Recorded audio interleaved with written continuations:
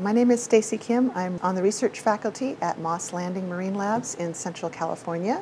Right now we are in McMurdo, at McMurdo Station in Antarctica and I do research down here on benthic ecology which is studying how the animals that live on and in the seafloor interact with each other. So I'm interested in the communities. Um, this is the latest tool in an arsenal of tools that we use to do marine science study. This was built by the team of engineers that's here with me in the room.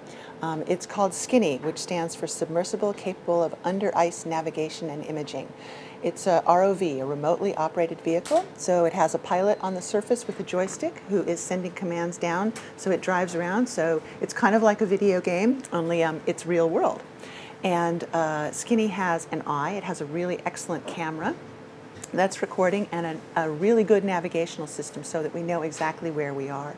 GPS doesn't work underwater, so we have to tie ourselves into the GPS network using sonar transducers that are sending sound waves through the water to tell SCINI exactly where it's positioned in the real world. So between those two things, the really good imagery and the really good navigation, we were able to create visual maps of the seafloor, and that's our science goal for this year, is to get into new areas that are deeper than where divers can go and look at these new communities and try to map out where the organisms are distributed and how that relates to the topography or the bathymetry of the seafloor and where the current patterns are moving and how the food is distributed.